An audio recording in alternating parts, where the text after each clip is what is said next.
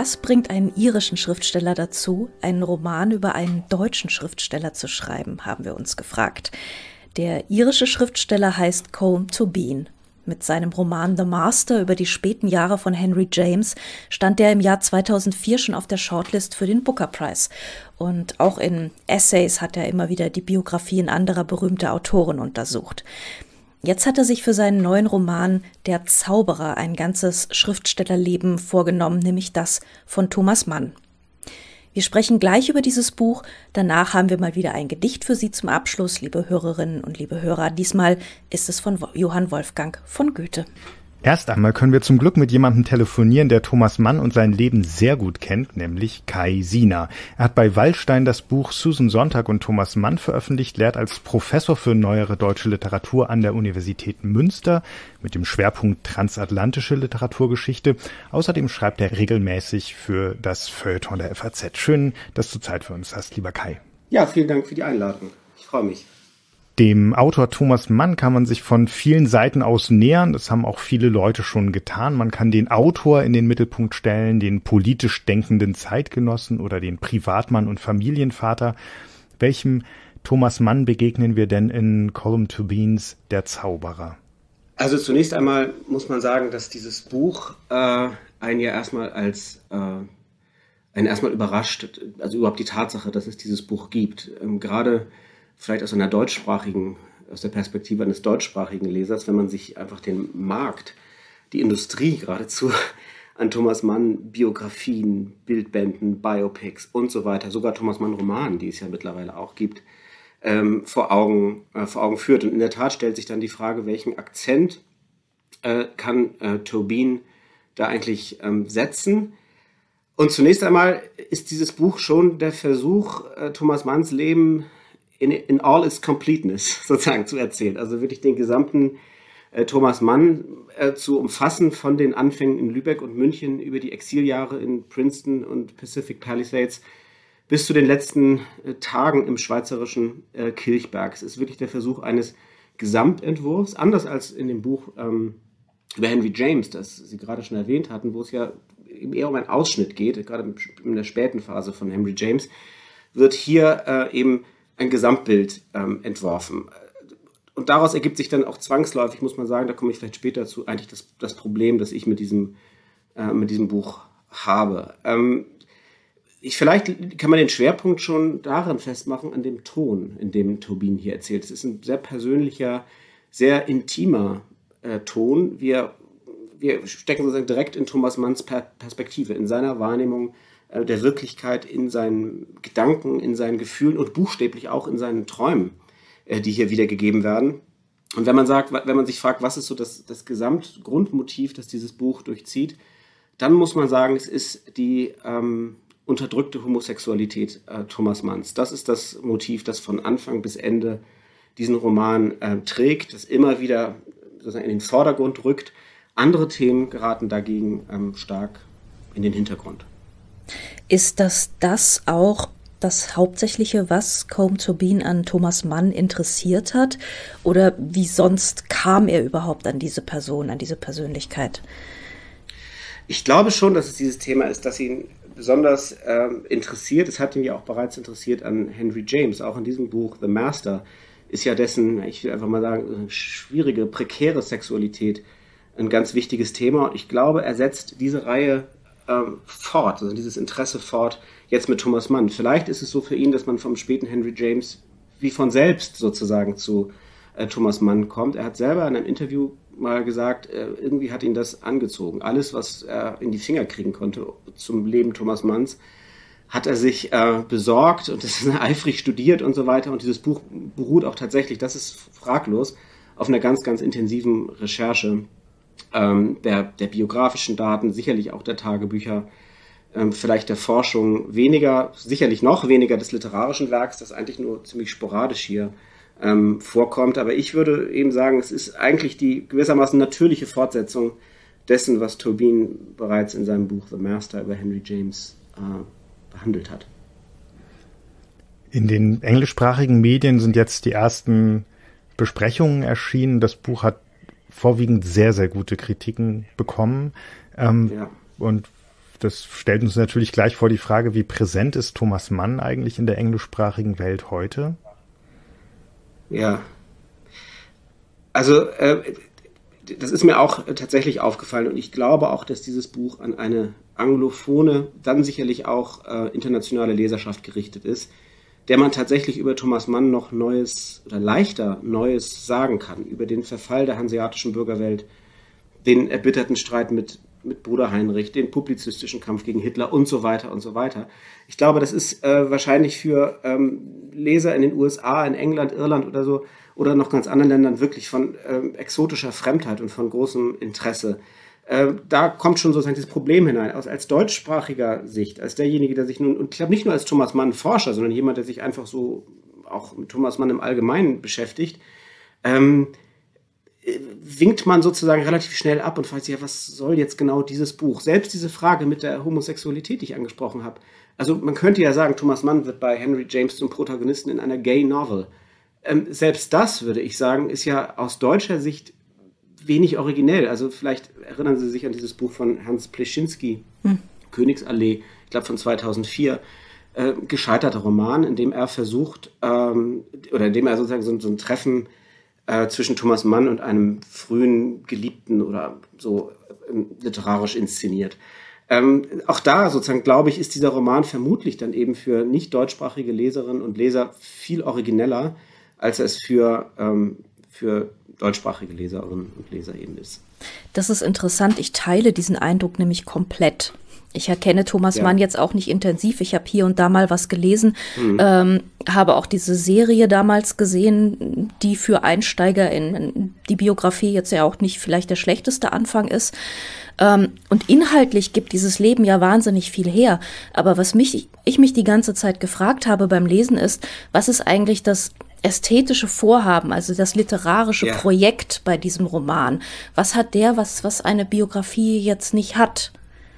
Ja, das, ja, vor allem, wenn man sich vor Augen führt, wie bruchlos, ne? also wie frei von jeder erzählerischen Infragestellung mhm. oder Selbstreflexion Turbin eigentlich das Leben Thomas Manns erzählt. Und darin besteht etwa mein, besteht, glaube ich, mein, mein Hauptproblem mit diesem Buch. Das ist sozusagen eine makellose äh, Illusion und es wird dann noch verstärkt durch diesen sehr intimen Erzählton. Und ich glaube, Turbin schiebt den Lesern dann eigentlich so etwas wie eine psychologische Gesamtinterpretation runter. Im Zweifelsfall steht für ihn hinter allem Denken, Handeln und Schreiben Thomas Manns eben dessen äh, Dasein als Closet-Schwuler sozusagen. Das ist, äh, das durchzieht das alles und es wird, und andere Dinge, und das, das Problem sozusagen, andere Dinge geraten dann eben stark in den Hintergrund. Also ich denke zum Beispiel, dieser gigantische Josefs-Roman, vier Bände, der wird überhaupt nur ein einziges Mal erwähnt, gerade so, als wäre der so nebenbei entstanden.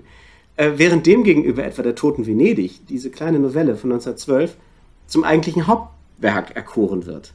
Ne? Also und da, da kommen solche Verschiebungen rein, die ganz äh, eigenartig und die auch, finde ich, auch problematisch sind. Auch ebenfalls unter die Räder des Erzählens kommt der politische Thomas Mann, hm. äh, dessen ganzen vermeintliche Überzeugung in der Lesart Turbins eigentlich nur so von außen an ihn herangetragen worden sind. Also dieser chauvinistische Nationalismus Thomas Manns, die Kriegspropaganda von 1914. Volkmann Turbin, dann hat ihn nur sein Freund und Bewunderer Ernst Bertram da so hineingeredet. Oder sein Eintreten für die Demokratie in den 20er Jahren. Für Turbin ist es eher so eine Art Gefälligkeit, die er etwas mürrisch seiner Tochter äh, Erika erweist. Und so weiter und so weiter. Ähm, das wird alles das gerät alles eben sozusagen in den, in den Hintergrund. Und äh, was mich zum Beispiel an Thomas Mann wirklich fasziniert, als jemand, der sich nun intensiv auch damit beschäftigt, editorisch, wissenschaftlich, ist ja diese anhaltende Kraft Thomas Manns zur gedanklichen Selbstrevision. Ne? Also sich immer wieder auf neue Situationen einzustellen, immer wieder auch die politischen Haltungen und Meinungen neu zu denken, nicht stehen zu bleiben. Ich meine, Thomas Mann als äh, wirklich äh, publizistischer Kämpfer gegen Hitler, als Verteidiger der Demokratie und so weiter. Das war mir alles nicht in die Wiege gelegt, sondern es ist der Prozess eines langen Nachdenkens, eines beständigen sich hinterfragens und so weiter. Und ich glaube, das wäre für, Thomas, für Turbin einfach eine nachträgliche Verklärung des politischen Thomas Mann. Folgt man ihm, dann geht es ihm, dann geht es Thomas Mann immer mehr, wäre es Thomas Mann immer mehr um Anerkennung und Resonanz und Befriedigung seiner Eitelkeit gegangen, als um Haltung und ähm, Positionierung. Kann man dem Buch unterstellen, muss man ihm unterstellen, dass es ihm, dass es Turbin um ein glaubwürdiges Porträt eines, also Bio, biografiehaftes Porträt eines äh, tatsächlich tatsächlichen Schriftstellers geht? Oder ähm, ist es eher so, dass es so eine Inspirationskiste war, aus der er sich Dinge zusammengestellt hat, um ein Bild zu zeichnen, das dann ähm, bestimmte Dinge eben auch ausblendet, um äh, seiner These folgen zu können. Also wie groß ist die literarische Freiheit oder die, die stoffgestalterische Freiheit, die er sich nimmt? Also letztlich ist es wirklich nur der, die Gattungsbezeichnung Roman. Hm. Ja, also es gibt keine anderen Formen der Selbstreflexion, der, der, der Brechung. Also ich erinnere, ähm, Frau Diener, Sie haben gerade hingewiesen auf, diese, auf diesen Fernsehdreiteiler, diesen hocherfolgreichen mhm. Fernsehdreiteiler Die Manns der ist ja sozusagen zusammengeschnitten zwischen ähm, dokumentarischem Material, äh, nachgestellten Szenen, Zeitzeugeninterviews, Interviews mit den noch lebenden Familienmitgliedern. Vor allen Dingen Elisabeth war das ja, oder einzige Elisabeth. Und ähm, es wird ständig das Bewusstsein wachgehalten beim Zuschauer oder bei der Zuschauerin, dass wir es zu tun haben mit, einem, mit einer Konstruktion, ja? also mit einer, mit einer Erfindung eben des Regisseurs. Ähm, und trotzdem ist es ja unterhaltsam und gut und so weiter. Aber es wird irgendwie deutlich gemacht, dass es hier irgendwie ein Entwurf, eine Möglichkeit, Thomas Manns äh, Leben zu sehen und zu interpretieren. Und diese Brechung fehlt mir bei äh, Turbin wirklich völlig. Und wenn wir sagen würden, wie gesagt, bei, bei Henry James, das ist ein Ausschnitt, den er wählt, da fokussiert er, da legt er ganz bestimmte sozusagen Schlaglichter fest, ähm, dann ist das wirklich nochmal was anderes als, äh, als in diesem Fall. Ähm, wenn ich etwas sagen sollte zur, vielleicht auch zur Verteidigung des Buches. Äh, mir ist oftmals, als ich dieses Buch las, ein, ähm, so ein Aperçu, eine, ein, literarisches, ein, ein, ein literarisches Urteil von Marcel Reichernitzky in den äh, Sinn gekommen. Das hat er mal gesagt, ich glaube, über den Roman Herr Lehmann von Sven Regener. Er hat gesagt, er habe darüber gelacht, aber unter seinem Niveau. Ähm, und so geht es mir bei diesem Buch auch oftmals. Also man fühlt sich schon auch unterhalten von diesem Buch, obwohl man sich eigentlich völlig im Klaren darüber ist, dass eigentlich alles an ihm dagegen spricht. Ne? Und ähm, es, alles in allem, es hinterließ so ein bisschen das Gefühl, dass man hat so ein schales Gefühl, dass man vielleicht nach so einer sechsteiligen Netflix-Geschichte, äh, dass er dann sozusagen beschleichen, äh, beschleichen kann. Ne? Es ist, äh, ich, ich finde dieses Buch, und ich glaube auch tatsächlich, dieses Buch ist schon wie gemacht für eine Verfilmung. Also man könnte das einfach, diese Dialoge sind auch wirklich sehr, sehr gut gemacht. Also es ist ein ganz souveränes Storytelling, das der Turbin da anwendet. Ähm, also unterhaltsam ja, aber ich glaube trotz allem, ich würde sagen, dieses Buch scheitert eigentlich als Biografie und als Roman. Als Biografie, weil ihm einfach die sachliche Ausgewogenheit fehlt und als Roman, weil es unter den Möglichkeiten bleibt, die die Gattung seit der Moderne bietet. Ne? Es ist eher so, wie gesagt, der Eindruck einer, einer, einer sozusagen schon Literatur gewordenen Serie oder so, souverän und gut gemacht. Man wird auch gut unterhalten, aber der Preis ist in diesem Fall deutlich zu hoch. Das ist interessant. Mir blieb irgendwie bei diesem Buch gar keine Szene im Kopf. Also was mir halt wirklich fehlt, ist das Bauen von Szenen, sondern ich habe das Gefühl, das verschwindet alles in so einem Redefluss, der zwar auch vorantreibt, wahrscheinlich bleibt man deshalb auch dran, aber ähm, ähm wirklich, dass man sagt, so das ist eine Szene, die mir, die mir wirklich bildlich im Kopf blieb, ähm, das habe ich bei diesem Buch kaum gehabt. Ähm, ich habe doch ein paar Szenen vor Augen gehabt. Also ich, ich gebe Ihnen recht, es geht alles auf in so einem erzählerischen Schwall sozusagen. Man hat wenige so ganz prägnante Momente mhm. vielleicht. Mhm. Ähm, es gibt vielleicht, also was mir sozusagen spontan als Assoziation jetzt in den Kopf kommt, wenn ich an dieses Buch denke, an die Lektüre denke, dann gibt es einfach ein paar witzige Szenen, finde ich. Also wie Thomas Mann mit seiner Frau Katja sich dieses Englische drauf schafft und wie sie sich sozusagen für jedes äh, grammatische Problem, das es so gibt, ein einzelnes Buch bestellen und das studieren. Und dann haben sie diesen italienischen Englischlehrer, der mit denen dann versucht, erstmal die äh, ähm, Dantes göttliche Komödie auf Englisch zu lesen. Also das ist irgendwie, das ist witzig geschildert, finde ich.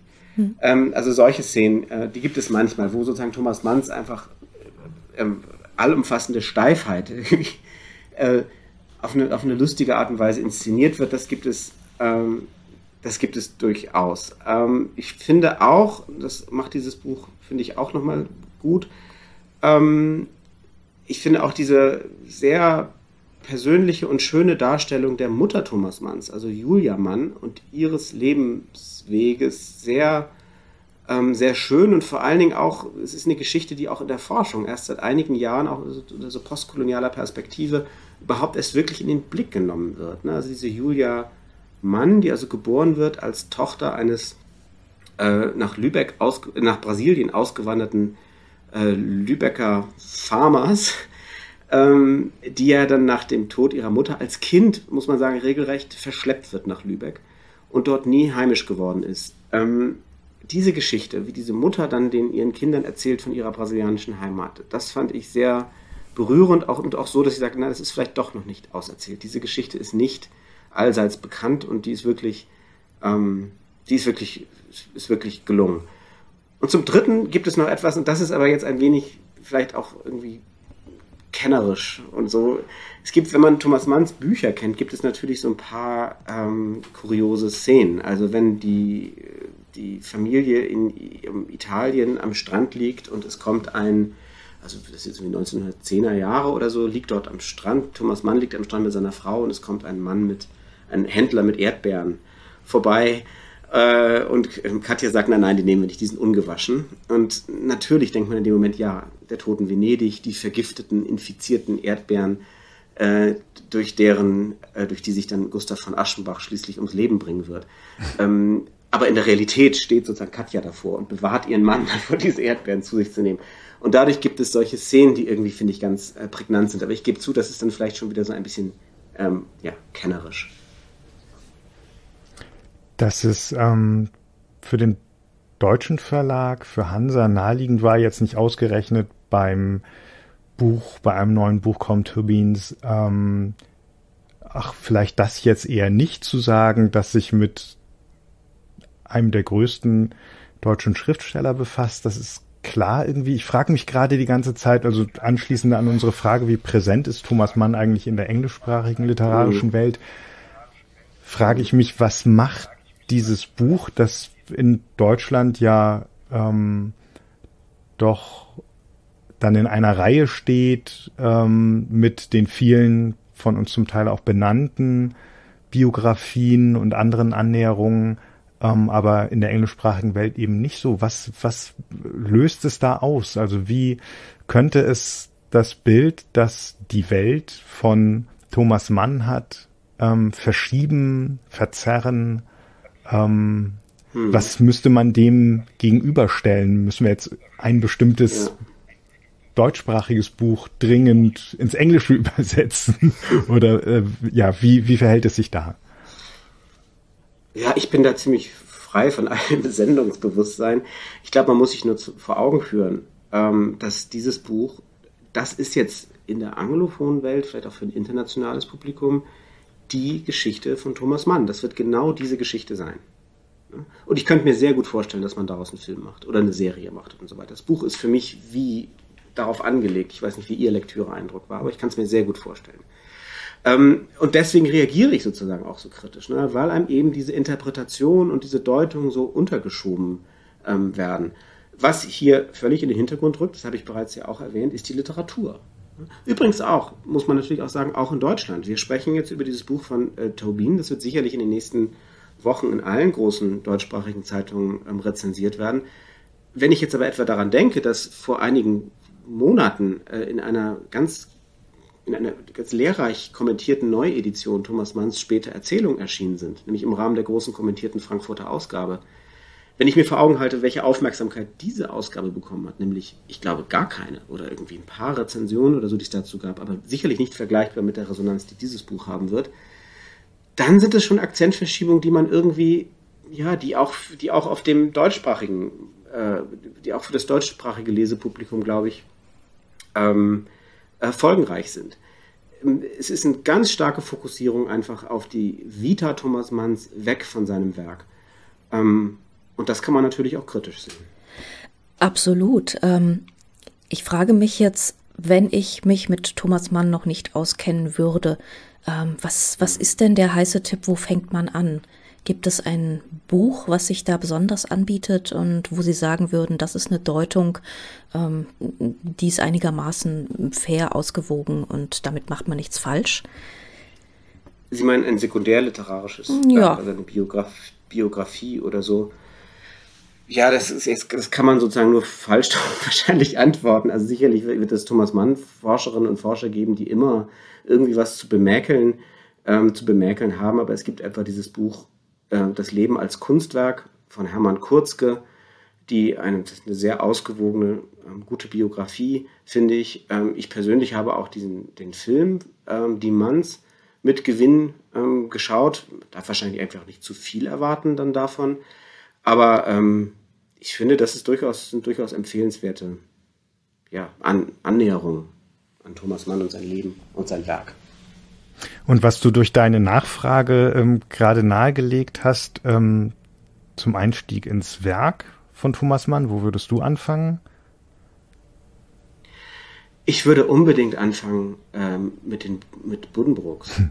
Auf jeden Fall. Und dann mit den und dann mit den ähm, frühen Erzählungen, die ja mitreißend sind. Also Buddenbrooks ist doch ein Buch, das einen wirklich, äh, also das einen wirklich immer noch eine große Faszinationskraft einen ausüben kann und das einen wirklich bannen kann. Das ist auch meine Erfahrung, übrigens in Seminaren, wenn ich das lese mit Studierenden, habe ich den Eindruck, dieses Buch hat wirklich die, die Kraft, weiterhin auch heutige Leserinnen und Leser noch, ähm, noch zu binden und wenn man etwas fortgeschritten ist dann in Thomas Manns Werk, dann würde ich den Zauberberg lesen. Der Zauberberg ist für mich auf der einen Seite natürlich das, das eines der intelligentesten Werke der deutschen modernen Literatur, aber eben auch eines der absolut witzigsten Bücher. Was übrigens Tobin äh, erkannt hat, offenbar. Ich weiß nicht, äh, ob Sie sich daran erinnern, aber es ist so, dass diese, äh, dass Katja, Thomas Manns Frau, als sie den Zauberberg in Auszügen äh, vorgelesen bekommt, immer lachen muss. Ich finde das immer lustig, einfach, was da passiert. Und so ging es mir bei diesem Buch einfach auch. Das Buch ist gar nicht schwer oder so. Äh, also es ist, es ist schon sehr fundamental in der Aussage, die es dann am Ende trifft und in diesem Kochenporträt und so weiter.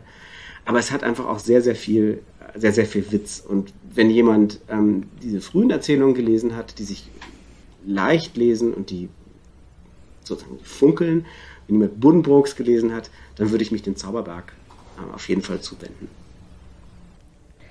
Liebe Andrea, Eig hast du noch? Ja, ja hast du noch. eigentlich wollte, würde ich gerne noch fragen wollen, ob es ähm, gelungene literarische Annäherungen an Thomas Mann noch gibt, die ähm, vielleicht als Projekt ein bisschen erfolgreicher verlaufen sind als der hm. Zauberer.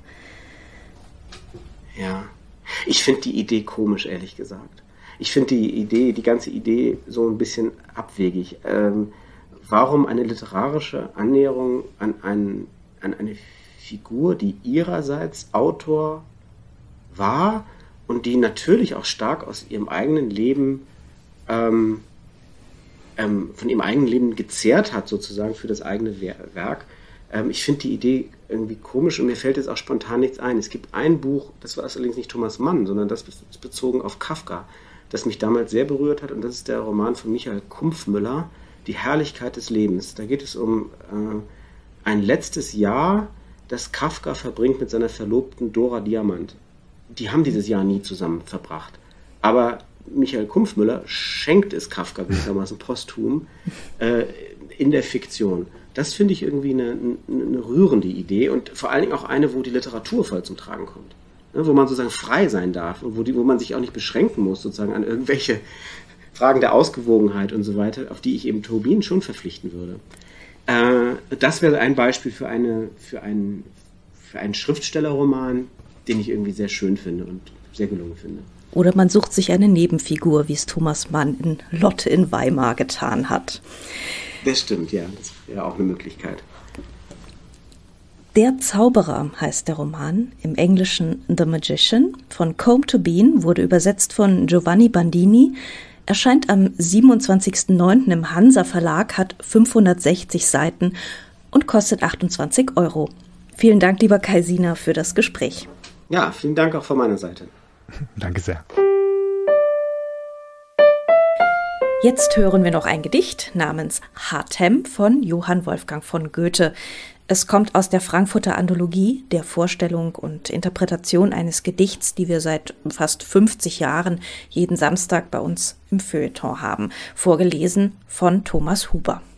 Diesmal schreibt Gisela Trams über das Gedicht. Sie finden ihren Beitrag in den Shownotes verlinkt und auf unserer Seite faz.net slash Bücher-Podcast. Die Seite natürlich mit UE. Dort finden Sie auch mehr zu Comb to Bean und zu Thomas Mann.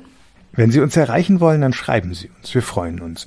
Wir müssen allerdings einräumen, wir schauen nicht jeden Tag ins Postfach hinter der E-Mail-Adresse bücher-podcast.faz.de, Bücher mit UE. Das musste neulich auch ein Hörer erfahren, der an einem Samstagnachmittag gerade ein bisschen Zeit für Podcasts hatte und die für den nächsten Tag angekündigte Folge gern jetzt schon gehört hätte. Haben wir leider erst Anfang der nächsten Woche gesehen, hätten wir aber auch nicht helfen können. Wir freuen uns natürlich auch, wenn Sie uns liken und bewerten und abonnieren, überall wo es gute Podcasts gibt. Bei Instagram heißen wir @fazbücher, auch da mit UE. Bevor wir jetzt noch Thomas Huber mit dem Gedicht hören, sagen wir vielen Dank fürs Zuhören und bis bald. Bis bald. Johann Wolfgang Goethe Hartem Locken, haltet mich gefangen in dem Kreise des Gesichts. Euch geliebten braunen Schlangen zu erwidern hab ich nichts.